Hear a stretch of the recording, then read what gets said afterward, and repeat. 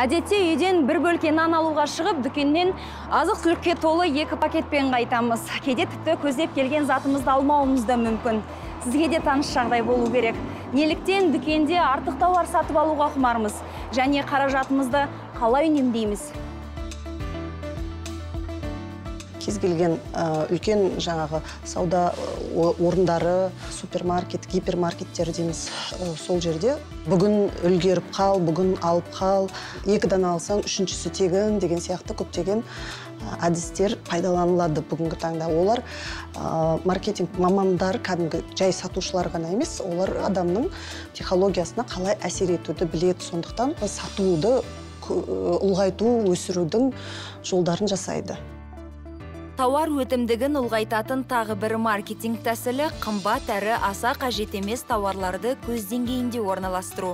Сондықтан қаржы кеңесшілері бір ауыздан мұндай айлаларға түспеу үшін алатын азық түлігіңіздің тізімін жазып одан ауытқымау керек дейді. Осылайша артық шығынды 23 процентке азайта аласыз. Ал бас қала тұрғындарының дүкенге қаншалықты жиі баратынын және қаражатты үнемдеуде қандай тәсілдер қолданатынын бірге сұрап білейік. Тізім жасап бару керек және де тоқ бару керек деп айтады. Ол да көмектеседі. А, аш болып барған адам міндетті түрде артық тауар алып қоятыны сөзсіз. Мен э, магазинге барғанда не каспийский карточкамен бонуспен э, алам әртүрлі жеткізу қызметтері арқылы аламын.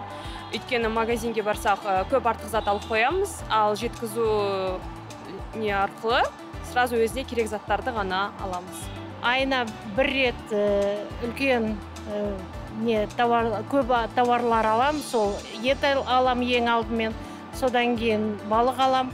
Ал күнде тек қана сүт пен нан алам. Супермаркеттерге белгіленген қолма-қол ақшамен бару керек. Зерттеулерге сүйенсек банк карталарымен төлеу шығынды 20-30 процентке көбейтеді. Сонымен қатар дүкенге күнделікті емес аптасына бір рет және тоқ болып барған жөн. Әйтпесе ақшаны далаға шаштым дей беріңіз.